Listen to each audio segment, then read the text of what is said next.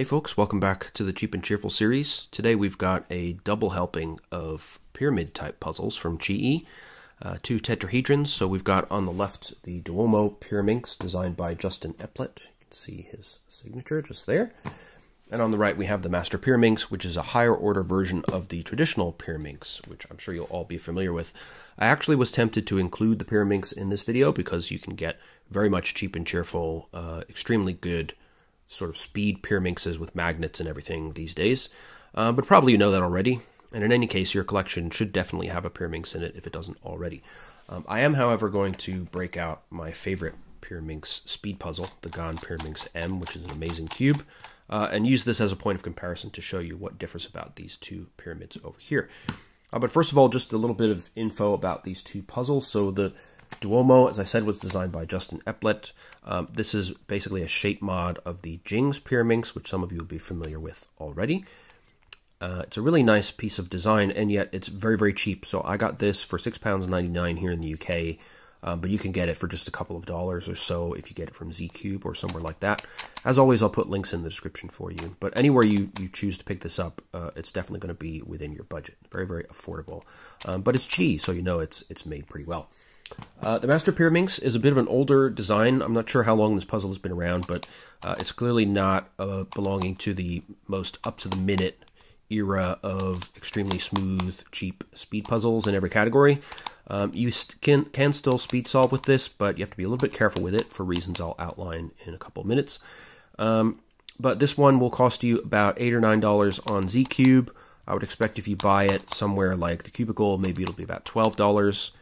Um, and if you buy it uh, here in the UK, maybe 11 or 12 pounds. So still not too expensive. Um, a little bit maybe on the borderline of the cheap and cheerful boundary, but um, for me, I think it's an interesting enough puzzle and fun enough to solve that it's worth an extra pound or two if you need it, or just you know throw it in your next bulk order at ZiiCube, and you, you won't feel that price too much. Uh, so both you know fall for me into the cheap and cheerful category, um, and both offer a lot of solving enjoyment for your money and they're both quite well made puzzles. But now I'll show you a bit about how they work. So if we bring out our friend the Pyraminx, now this guy, of course, uh, as you know, we have the famous trivial tips. Uh, so this is a corner turning puzzle, and uh, so that layer does turn as well as the main chunk here. So uh, below the trivial tips, we have our corner pieces that have three colors. Those are then connected to three edges. So each corner turn that we do, we're moving around three edges as well. There are six edges in total. So basically the main work of solving a pyraminx is around uh, permuting and orienting those six edge pieces, right? Um, because the trivial tips are, of course, trivial. The corners can just be sort of turned into place, and then it's all about putting the edges where they need to be. Uh, so it's a simple puzzle, but a classic. Um, and I'll get to this in the video I'm going to do about this puzzle here later on. Uh, but the Pyraminx is a great place to start with speed solving. There's a lot of interesting methods that you can learn and really not a lot of dependence on algorithms at all. So it's a lot of fun to speed solve. Uh, very, very enjoyable puzzle for that. Um, now, if we compare this to the Duomo, again, this is basically the Jing's Pyraminx, so what I say about the Duomo will apply to that as well. You can immediately see some significant differences. So if we ignore the face pattern and just think about the piece types, uh, you know, we have our trivial tips here, but we don't have that on the Duomo. We just have these big chunky corners that actually participate in the solve, right? Um, so these, like the corners on the Pyraminx, are connected to three edge pieces, but then we also have these exposed centers, which we don't have on the Pyraminx. So that's a new addition to the solve. They're not, they don't add a ton of challenge, but there is another step in the solve in order to move those centers around. So it's a little bit of a different feel from the Pyraminx. Uh, you're not worried about any trivial tips and knocking them out of place during your solve. Um, every piece that you see does participate in the solve, and you do have the centers that can be swapped around and so forth. Um, I think it's really good to have a Jing's Pyraminx in one's collection. It's a classic puzzle. There are lots of other puzzles that are related to it, so being familiar with solving strategies for this will help you with other puzzles as well. And it's just enjoyable to solve on its own. In particular, um, I would recommend getting the Duomo because, uh, first of all, it's hard to find uh, a more standard Jing's Pyraminx. There is one now available from ShengShou uh, in stickerless plastic, which I probably will get because it's very cheap, uh, and show that off as well. Um, but I think the Duomo has a really attractive aesthetic to it. So in the standard Jing's Pyraminx, you have these really big chunky edge pieces, and generally it's a pillowed shape. So the ShengShou one is like this, uh, and the old Mefferts ones are extremely pillowed. They look like big sort of steamed dumplings or something. Uh, but this one, they've compressed the edges down inside the puzzle, and they're sort of nestled between these sort of overextended corner pieces. And I think that leads to a really attractive pattern on each of the faces. Um, and when it's scrambled up, it looks really nice as well.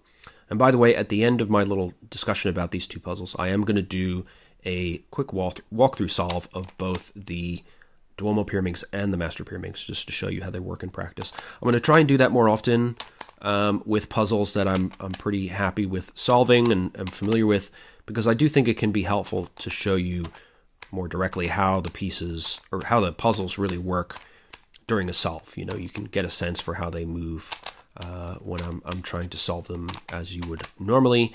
Um, that might be more helpful than just seeing me do random turns here and there. So I will be doing that more often. So that's the Duomo Pyraminx. Uh, really cheap, yet very nicely built and very good looking puzzle, in my opinion. Um, the Master Pyraminx. So here again, we'll compare to the classic Pyraminx. Uh, so on the Pyraminx, of course, we have three layers, uh, as you can see. So we got our trivial tips, the middle layer, and the bottom. Uh, on the Master Pyraminx, we can add one more to that, like so. So now we have four layers, right? Uh, so there's a lot more pieces here to solve, and that adds a lot of interest uh, when you are solving the puzzle. So now uh, you can solve it a few different ways. You can do it by reduction, which is what I'm going to do in the walkthrough solve. I actually reduce it to a Jing's Pyraminx, so basically to this one. Um, you can also solve it directly. There's not so many pieces that going piece by piece and not doing any reduction becomes tedious. Um, and any way you choose to solve it, uh, there's really not any sort of parity to deal with. Uh, when you do a reduction solve, you can end up with some uh, the centers swapped around in weird ways, but uh, that's not really parity as far as I can tell. Um, you just can easily get them back to place with a simple algorithm, and, and they're based on algorithms we already know from other puzzles, so it's really not a big deal. But that's an interesting aspect of this puzzle. So, in going from the standard Pyraminx to the master Pyraminx, we suddenly have the appearance of these single centerpieces that we also get in the Jing's Pyraminx and the Duomo Pyraminx, uh, which is kind of kind of interesting to me. We you know suddenly a, a, centerpiece sprouts from nowhere. Then if we go to the Professor Pyraminx, uh, then it expands further, and we have a set of inner centers that is a, sort of triangle of four pieces, like we see here. Um, so basically, that's why I like doing the reduction solve to a Jing's Pyraminx, because we already have uh, single centerpieces that function pretty much the same as these guys. So it just felt natural to me to try and reduce the puzzle to that form and solve it from there. Uh, as far as the functionality, um, it like I said, it, it, doesn't feel like the latest and greatest, but it's a, a perfectly serviceable puzzle. The turns are smooth. It's got a clicky mechanism, um, which is actually kind of nice. It gives the, the solve a sort of tactility. Uh, things sort of click securely into place every time you make a turn. Um, but, you know, it, I did find it taking a little bit of getting used to when I first got this puzzle. And also, it has this sort of, I wouldn't say instability, but pieces can end up sort of sticking out and in hanging in sort of weird positions like this. Um, it's very easy to fix. You can just bring it everything back with just one little touch like that. But it's just something to be aware of because if you do have pieces dangling out in space like that and then you immediately do another turn, you can get stuff really catching or feeling like it might even pop. I haven't had any pops yet, but I suspect it might be possible to have that. Um, other than that, uh, it, it's a really nice puzzle. I don't have other Master Pyraminxes, but I have heard from people who know and people who speed solve this puzzle that the QiYi is pretty much considered the best one on the market. Um, there is some interest in trying to make this puzzle into a World Cubing Association WCA event, um, which I think would be great because the only tetrahedrons that are sort of officially sanctioned for competition uh, in speed solving is is just the Pyraminx. And as much as I love speed solving the Pyraminx, it is you know it's over quite quickly. Um, and uh, you know if you expand that to the Master Pyraminx, you have a lot more um, pieces to deal with. There's new piece types that appear, and, and there's more strategies that that can be available. So uh, it doesn't take too long to solve as well, so you know spectators wouldn't get bored with it.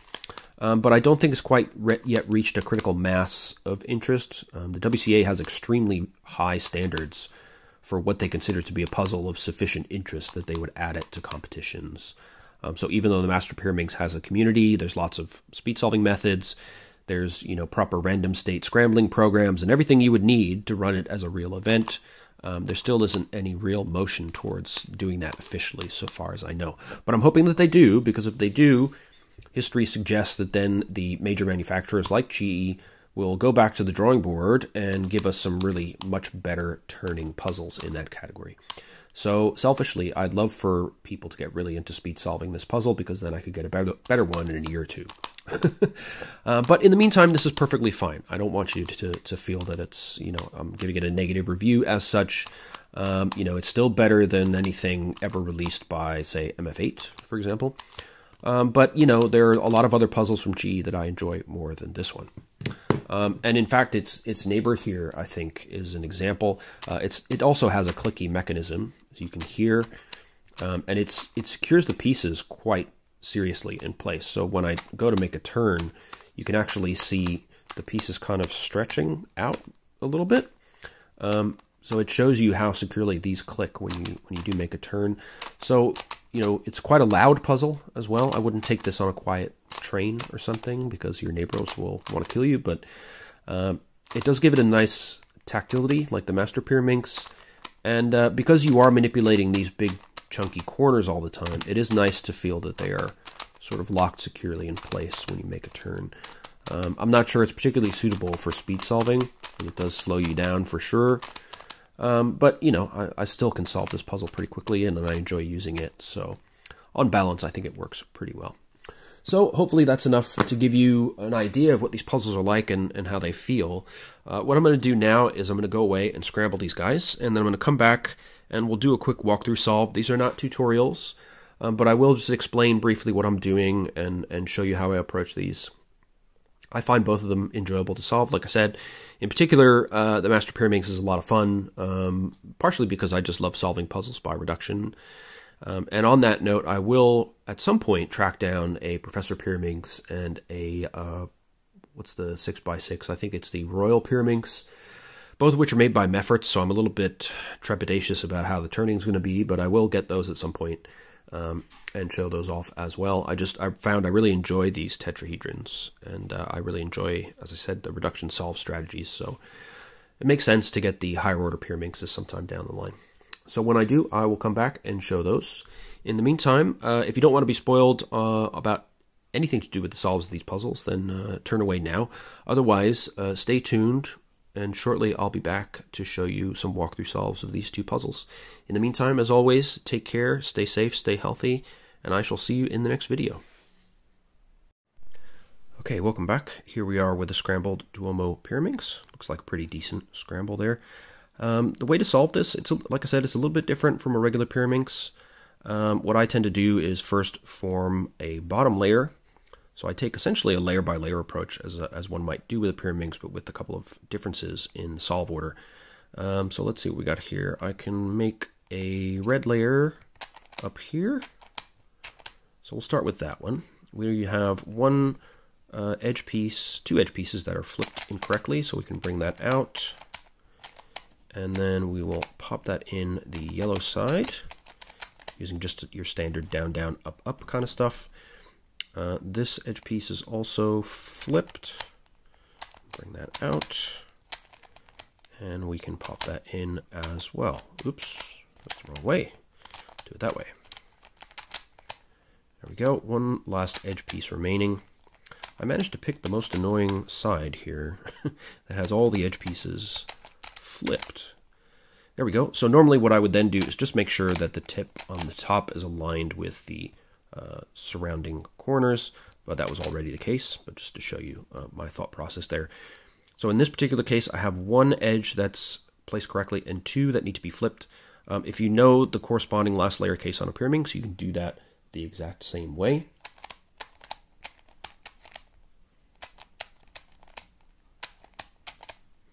So now all of our edges are done, all of our corners are correctly oriented, and now we just have to deal with the swap of centers. This is very easy to deal with. All we need to do is find uh, two faces that need to swap their centers like this. We put one facing towards us on the front, one on the bottom, and then we just do down, down, up, up three times from the left.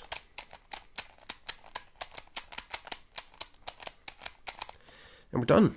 So that's a sample solve the Duomo Pyraminx. Hopefully you can see the uh, performance of the puzzle is really good. All the turns are really smooth. It is very clicky, of course, as you can hear. uh, but it's a great little puzzle, and it is a little bit different from the Pyraminx. And I have no doubt that there's some interesting methods for solving this that I haven't delved into yet. Um, I haven't spent quite as much time with this puzzle as I would have liked. I've spent a lot of time with the regular Pyraminx and know several speed solving methods for that one, but I don't know so much about the Jing's Pyraminx. So I will be looking into that and hopefully expand my solving knowledge a bit more. There's a number of puzzles that can be uh, related geometrically to a Jing's Pyraminx, so it seems useful to really know the ins and outs of this puzzle. Uh, it's another reason that I'm glad to have it in the collection. So, next up, I will come back with a scrambled Master Pyraminx. Okay, here we go. We've got a fully scrambled QiYi Master Pyraminx ready to solve. Now the way I will solve this, as I mentioned, is by reduction to a Jing's Pyraminx, and that's pretty straightforward actually. Um, all we need to do is reduce the edges. So we form edge triplets on every edge of the Master Pyraminx. Uh, when we have six completed edge triplets consisting of one center edge piece and two wings, then we will have basically a giant Jing's Pyraminx. We can solve that then uh, as a Jing's Pyraminx by just using wide turns only, of course, so that we don't disrupt any of the edge triplets that we have created. So uh, normally you can solve the trivial tips at whatever point in the solve you feel like because they really don't matter.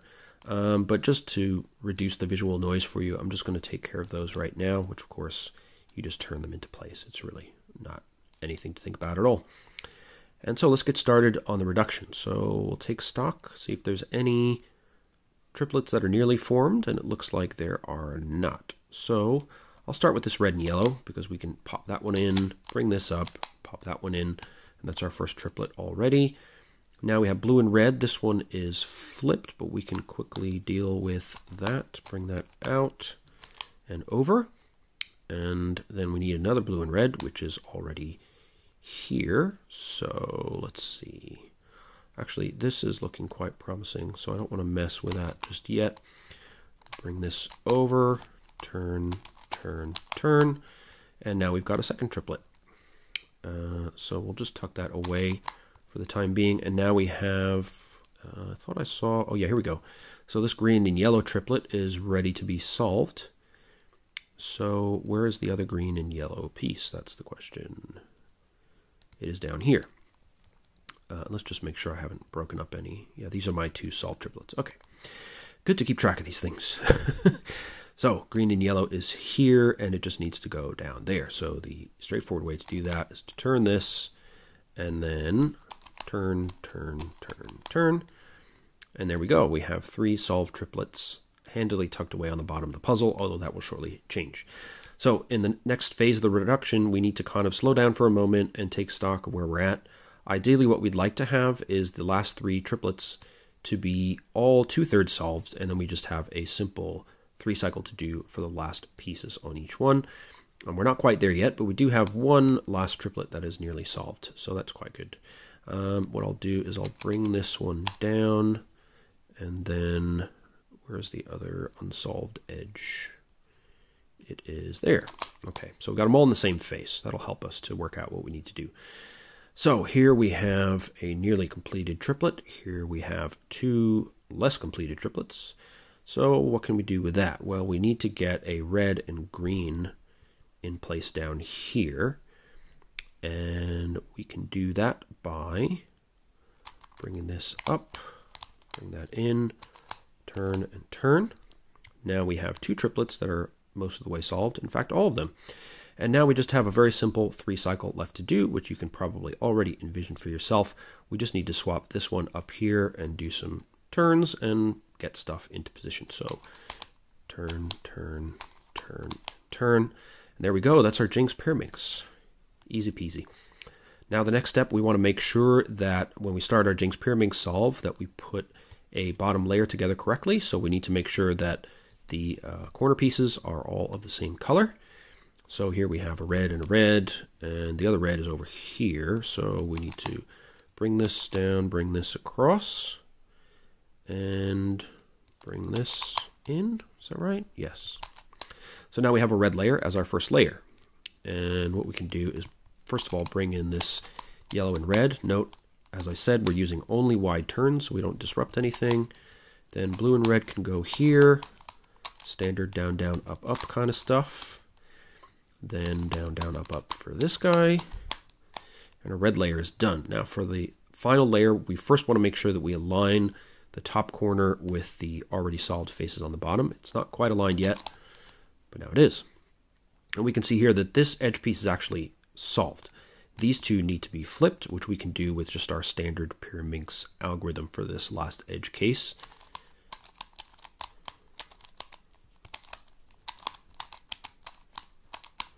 And we're done. Uh, typically, you would actually end up with a kind of edge pseudo parity. Um, there's three different algorithms to switch these edges around. It's very similar to on the Jing's Pyraminx, but you have some additional cases that are possible here.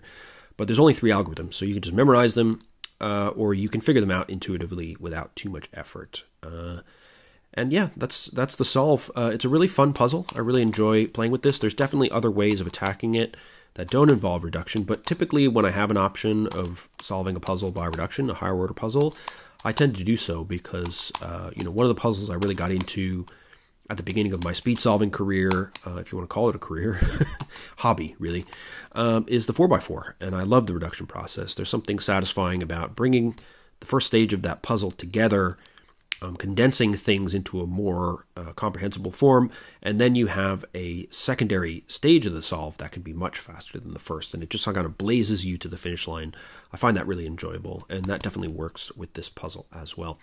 Um, and in general, the Master Pyraminx is pretty nice because it's a bit forgiving. Um, there's enough pieces for it to be interesting and strategic to solve, but not so many that it becomes tedious. There's no parity to worry about. Um, and it's, it's just a really enjoyable puzzle that doesn't require a lot of memorization or anything. Um, so I really recommend giving it a try. And definitely if you've enjoyed any type of tetrahedral puzzle uh, of the lower, lower orders like the Jing's Pyraminx and the uh, normal Pyraminx, then I definitely recommend adding this to the collection. I can't really speak for the higher order Pyraminxes like the Professor or the Royal Pyraminx. I am tempted to look into those at some point because I do enjoy this puzzle so much, and I think it'd be more interesting to also have to do uh, a center reduction, which we didn't have to do here because there's only one centerpiece. We could just ignore it and solve it as we would on a Jing's Pyraminx, basically, with a couple of additional cases. But if we instead had a 5x5 Pyraminx and we had, you know, four centerpieces to solve, in the early stages, that would be pretty interesting, I think. So let me know if you have those puzzles. I'd love to hear your evaluations, um, and I, I, may just uh, reach out and get one of those or both of them in the future and uh, let you know what I think of them. But in the meantime, get yourself a Master Pyraminx, get yourself a Duomo Pyraminx. Uh, they really are a lot of fun if you don't have them already. And in the meantime, as always, stay safe, stay healthy, take care of yourself, and I look forward to seeing you in the next video. Okay, bye bye.